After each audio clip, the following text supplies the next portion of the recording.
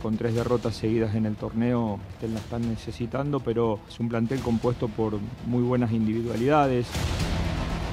Sabemos qué va a pasar con el resultado, que puede ser benéfico en este momento para olvidarnos un poquito de las tres derrotas que tenemos en el fútbol mexicano principales actores de equipo histórico eh, los podés tener en un equipo y en una franquicia, seguramente al entrenador le acortan muchísimo los caminos.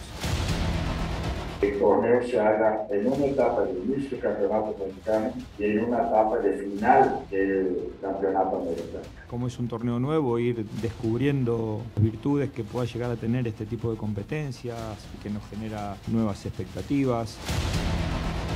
Yo estoy más viejo y Leo está sin una mochila inmensa que tenía y que se la sacó hace siete.